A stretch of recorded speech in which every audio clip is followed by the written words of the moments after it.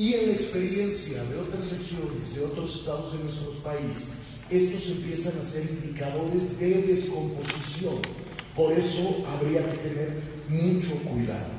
Y solo termino este tema diciendo que el próximo año la Ibero Puebla alojará el primer encuentro nacional por la paz, que es esta iniciativa de la Iglesia en su conjunto, de la provincia mexicana de la Compañía de Jesús, de la CIR y el CEN, justo por generar procesos de paz con reconciliación en nuestro país.